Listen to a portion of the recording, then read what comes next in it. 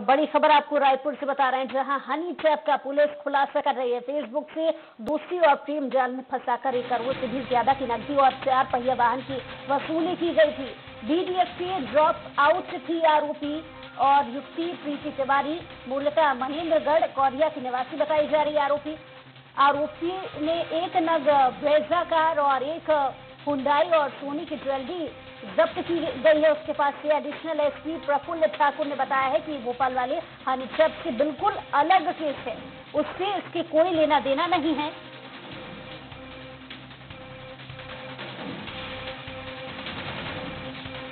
तो रायपुर से बड़ी खबर आपको बता रहे हैं।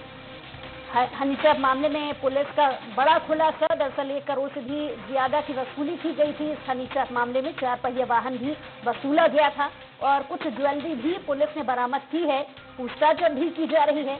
और साथ ही कहा गया है कि भोपाल के हनी ट्रैप मामले से बिल्कुल ही अलग मामला है, उससे इसका कोई लेना देना नहीं है।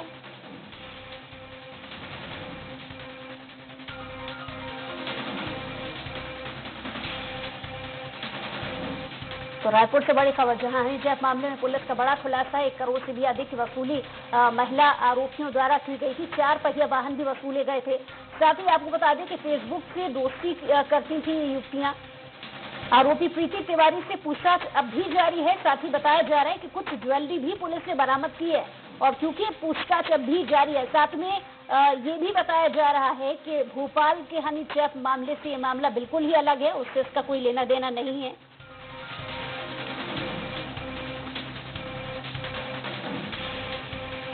तो बड़ी खबर आपको बताना है, रायपुर से। हनी ट्रैप मामले में एक और बड़ा खुलासा, जहाँ एक करोड़ से अधिक की वसूली इन महिला आरोपियों द्वारा की जा रही थी। लेकिन खास बात हम आपको बता दें कि ये हनी ट्रैप भोपाल का जो मामला है, उससे बिल्कुल अलग है। जो जाँच कर रहे हैं अधिकारी, उन्होंने भी इस बात को कहा है कि मध्य प्रदेश भोपाल का जो हनी ट्रैप मामला है, उससे इस मामले का कोई लेना देना नहीं है। और जो बड़ा खुलासा हुआ है, उसमें माना जा रहा है पूछताछ में ये खुलासा हुआ है कि आरोपी प्रीति तिवारी फेसबुक से दोस्ती किया करती थी और फिर उसके बाद में एक करोड़ से भी अधिक की वसूली उसने एक व्यक्ति से की है, चार पहिया वाहन भी वसूले थे उसने।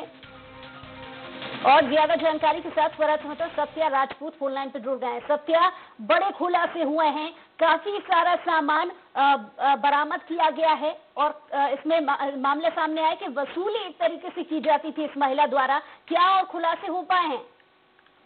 जी जैसे कि आज पुलिस ने पीसी कर खुलासा किया है कि फेसबुक के माध्यम से प्रेम जाल में फंसाकर और उनका कुछ वीडियो बनाकर एक व्यापारी को इनके द्वारा एक करोड़ का डिमांड किया गया था, जिसमें ये चार गाड़ियाँ हैं और कुछ नगद ज्वेलरी इनसे बरामद की गई है और कुछ बैंक के माध्यम से भुगतान किया गया था और कुछ नकदी राशि जो जब्त की गई है। तो इस तरह ही अपने प्रेमी से मिलकर जालसाजी करते हुए व्यापारी को फंसाया। जी। इसके अलावा पुलिस का क्या कहना है? जी और इसमें मेन बात यह है कि पुलिस का कहना है कि जो भोपाल के हनी ट्रिप से इसको जोड़ा जा रहा था तो पुलिस का कहना है कि ये उससे कोई लेना देना नहीं है। एक एक अलग तरह की मामला है। ये जालसाजी है। जी चलिए बहुत शुक्रिया तमाम जानकारी के लिए सत्या।